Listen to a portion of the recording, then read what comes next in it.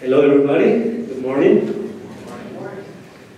For those who don't know me, my name is Noé Juarez, one of the associate pastors for Family Ministries and Missions, and it's my privilege and honor to share the Word of God with you today. And I hope God will speak to you in spite of me.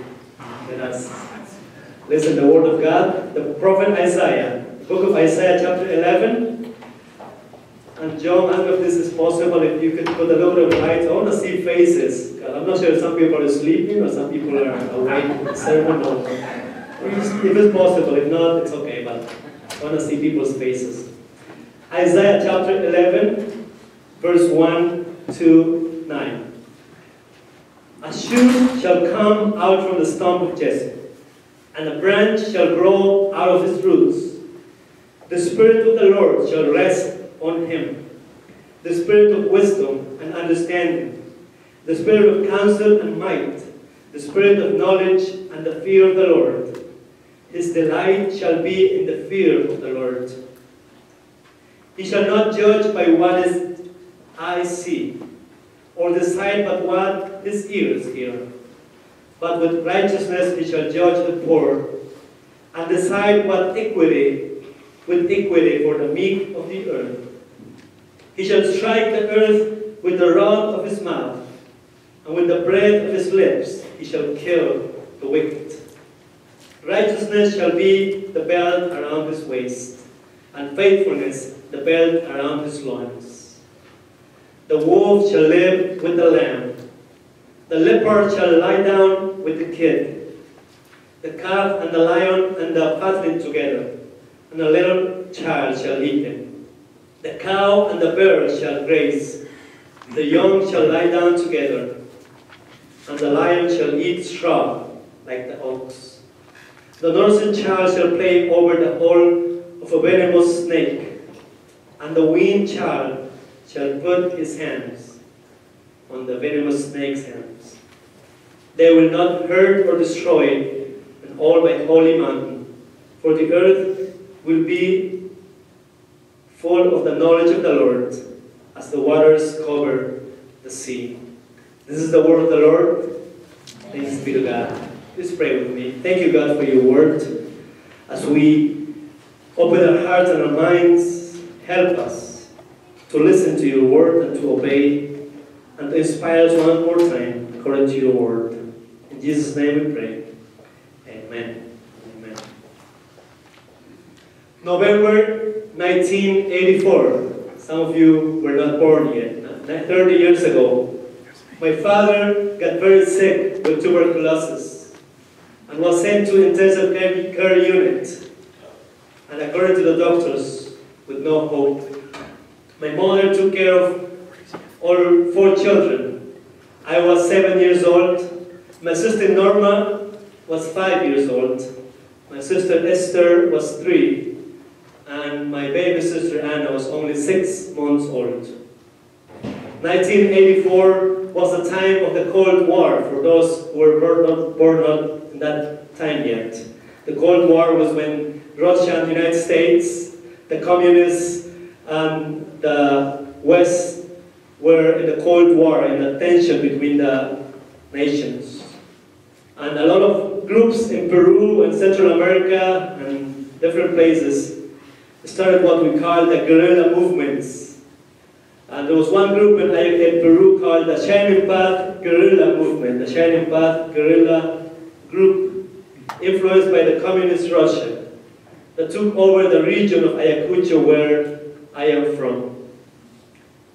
They started killing Christians, farmers, and anyone who didn't want to join them in this violent movement. We left our farm and our house and became homeless and refugees for that reason. At that time, Reverend Pedro Arana from the National Council of Churches arranged the settlement of family refugees in the northern part of Peru. The government facilitated a charter airplane for 48 families. So we flew from Ayacucho to the northern part of Peru. The local Presbyterian church in Moyobamba arranged some of the Sunday school classrooms into bedrooms for the families to stay. I saw tears of hopelessness in my mother. I saw her kneeling in a room, hugging us and comforting us and saying, Children, remember, God is our life and our salvation. God is our refuge. My mother said, Let us pray for young, for your father health, and let us be hopeful. And I saw my mother's faith in action. A few days later, miraculously, my father was healed and came back with us. We all ran and hugged him with joyful hearts. And with the 48 families, we traveled by car, by boat, and by walk in two hours in the forest land into the jungle of the northern Peru. And we started a small community, a small town, that we called it the town of peace and hope. The men cut the wood to build houses, the women cooked the meals for the community, and the children helped to build the schools, the church, and the clinic.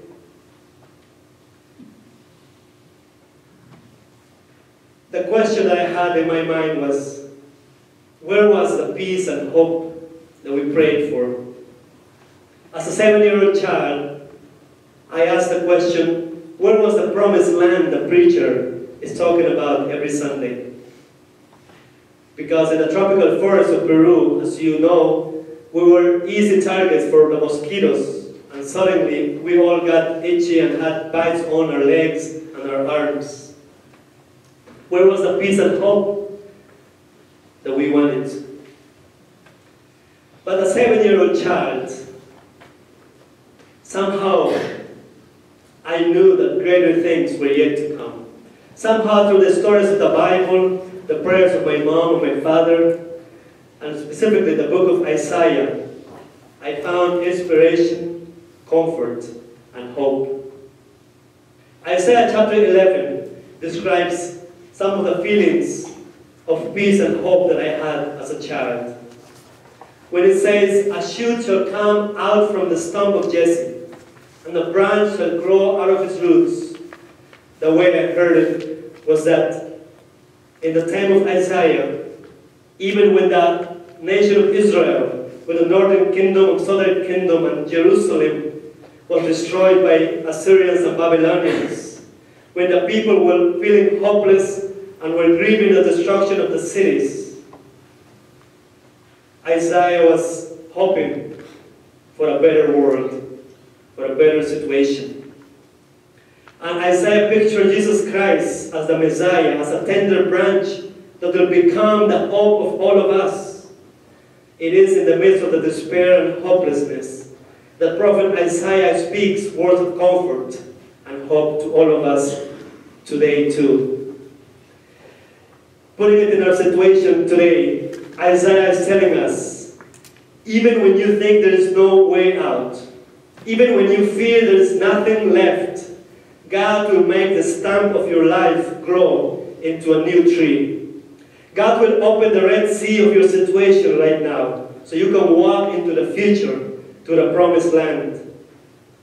And if you were watching the news, Isaiah can tell us also, even in the midst of tragedies, such as the death of Michael Brown, the violence, the riots, the protests, Isaiah is telling us there is hope.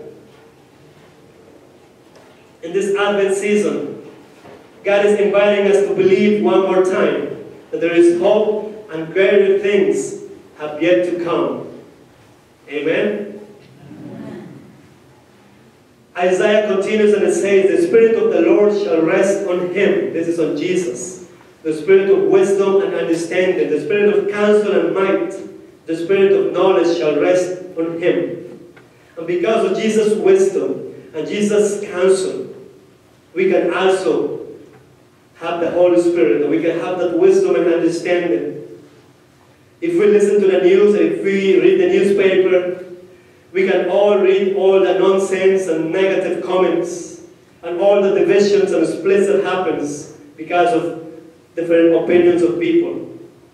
But we need the understanding and the wisdom of Jesus Christ to begin healing and for reconciliation and for peace in this country and in this world. So as we prepare to celebrate the birth of Jesus, my friends, let us ask God to fill us with the Holy Spirit so we can have a new understanding and to believe one more time that greater things have yet to come. The final part of the text that we're reading today is what we call the peaceful kingdom picture. So listen to the words again. The wolf shall live with the lamb. The leopard shall lie down with the young goat. The calf and the lion will be together, and the little child will eat them. The cow and the bear shall eat together.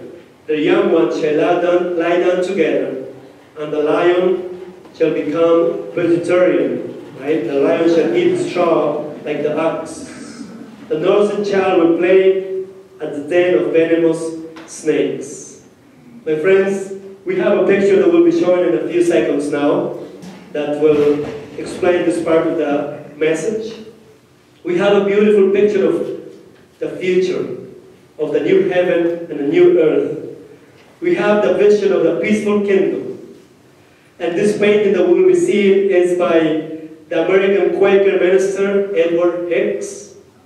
Uh, he lived at the time of 1780 to 1845. And in this painting, we see children playing with untamed animals. And we see in the left side of you Mr. William Penn in the peaceful treaty with the Native Americans. And as you know more than me, William Penn was one of the founders of the colony of Pennsylvania that later became the state of Pennsylvania. And I didn't know this, but Pennsylvania is called after William Penn, but the Sylvania part, you know what Sylvania means?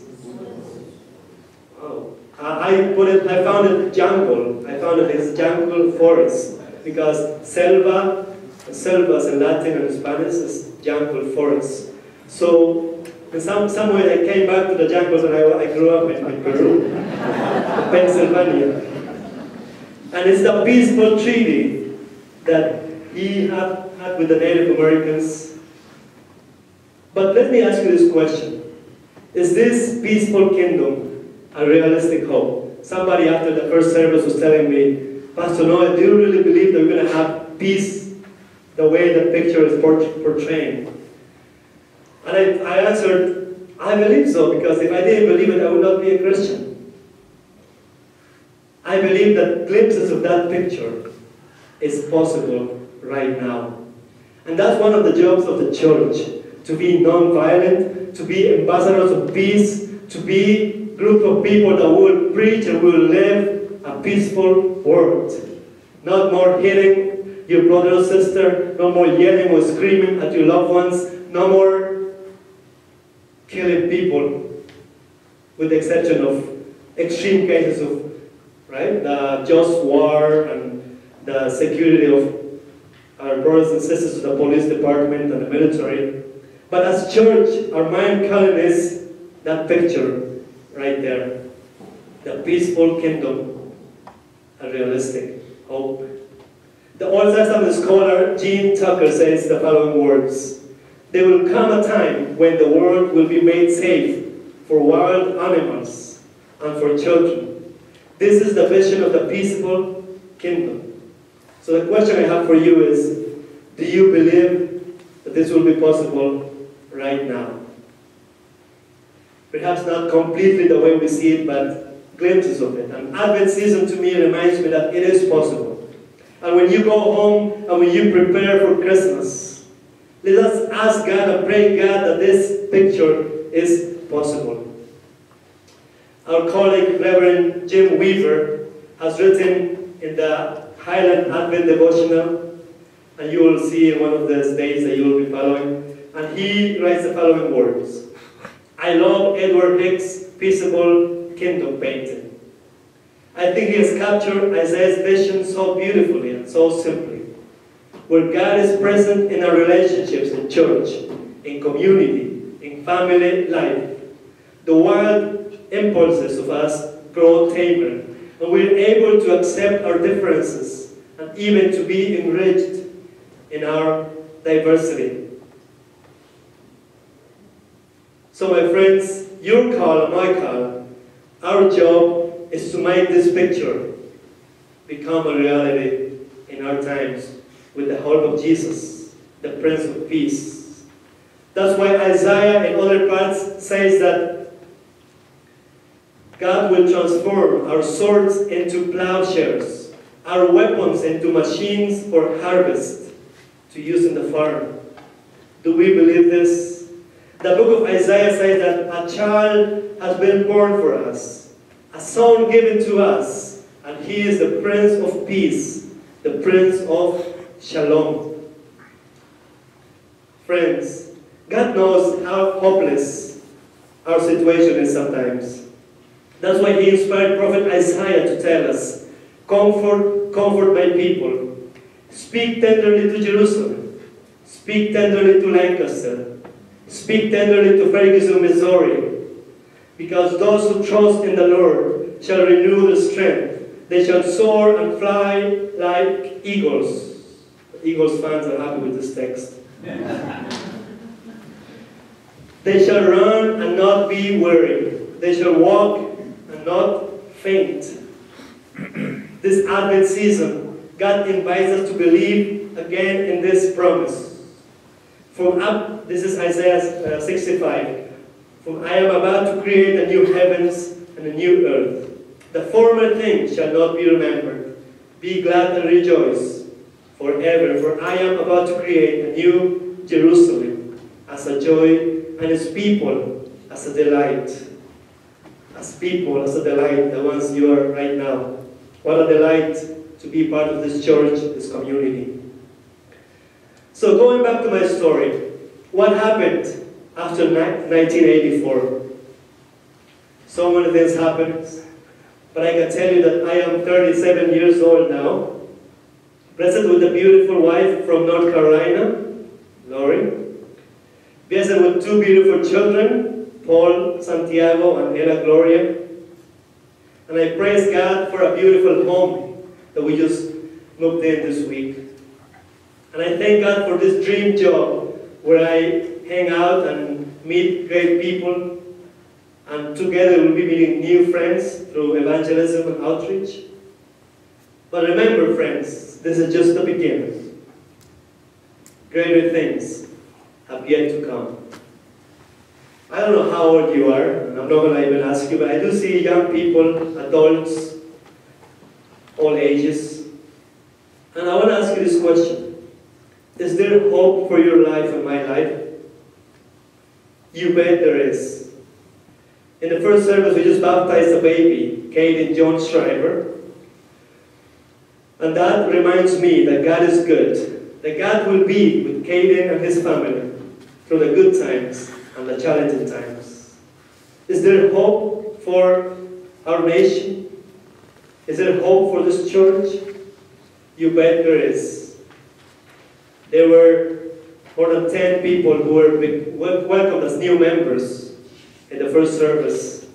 And some of them are part of the second service, but because of the breakfast at 8.30, they were, they were at the first service today. Is there hope, my friends? We have more than 800 gifts today from given all of you that will be given to the families in need through 22 different organizations in Lancaster. That, to me, means that there is hope. And this is why one of the songs that we'll be singing next speaks to my life and speaks God's hope for me. And it says that you are the light in this darkness. And saying, God, you are the hope of the hopeless. God, you are the peace to the restless. For greater things have yet to come, and greater things are still to be done in this city. My friends, that is Advent 2000 for me, 2014 for me. The hope in Jesus Christ, the preparation that something wonderful is about to begin in your life and my life. In Jesus Christ, greater things have yet to come. Do you believe it?